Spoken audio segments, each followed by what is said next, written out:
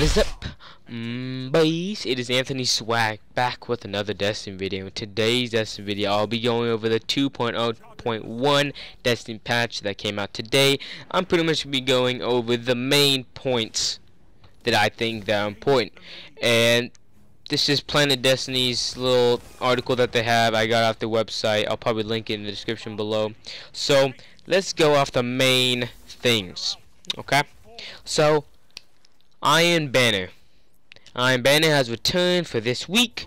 Required, required minimum character level 40, recommended light 230. So, game completion rewards have been reworked to be more valid source for Iron Banner rewards. And the match rewards now include both weapon and armor, including items available on Lord Saladin.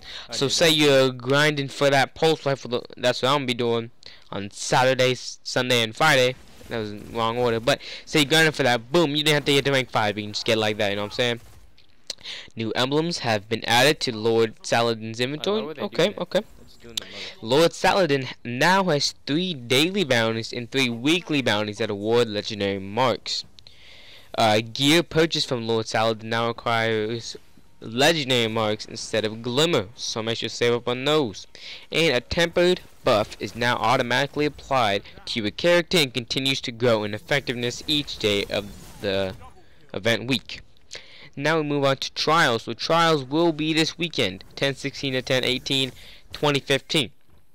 So same thing requires a minimal character level 40 so then, uh, but oh, minimum light is 250 the recommended is 290 if you go in there 250 you're gonna get absolutely shredded. same thing as 290 I, I would actually recommend 300 and above but that's just me.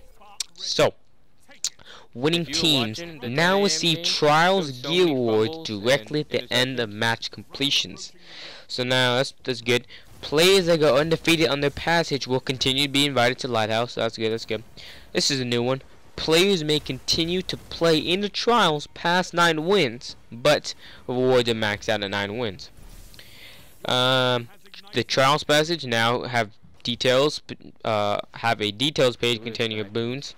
Uh, players must now purchase boons from the details page on their passage instead from Brother Vance. Instead of flying all the way to the reef, you can buy right there. That's pretty good. And boons no longer uh, be applied to trials passage after starting a run. So what some people did was they'll get seven wins to get the boon that one win counts as two and boom lighthouse but now you can't do that you gotta get all your boons now and you can't get it later trials gear can, can now be purchased from Brother Vance including some items found in the lighthouse Brother Vance now has bounties that award legendary marks Crucible bounties uh, can also be completed in Trials of Osiris, and matchmaking has been updated to make it more competitive to reach the lighthouse.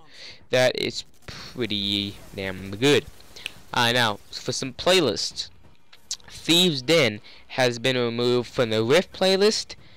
Doubles, yeah, they added Twilight Gap, Asylum to Elimination playlist, and removed Anomaly and Firebase Delphi from Inferno, Salvage, and Inferno Skirmish.